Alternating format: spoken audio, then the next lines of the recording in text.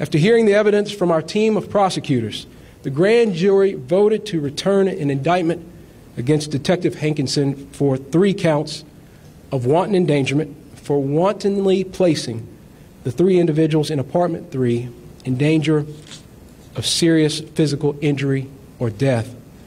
The charge of wanton endangerment in the first degree is a Class D felony, and if found guilty, the accused can serve up to five years for each count.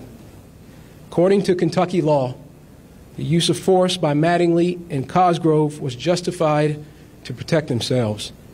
This justification bars us from pursuing criminal charges in Miss Breonna Taylor's death.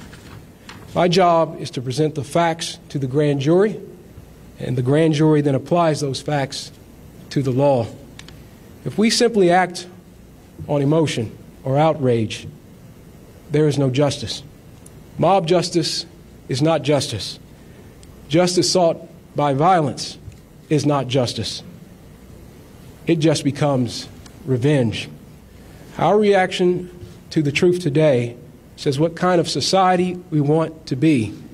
Do we really want the truth, or do we want a truth that fits our narrative? Do we want the facts, or are we content to blindly accept our own version of events? There will be celebrities, influencers, and activists who, having never lived in Kentucky, will try to tell us how to feel, suggesting they understand the facts of this case and that they know our community and the Commonwealth better than we do. But they don't. Let's not give in to their attempts to influence our thinking or capture our emotions. I urge those protesting on the streets to remember this. Peaceful protests are your right as an American citizen. Instigating violence and destruction are not.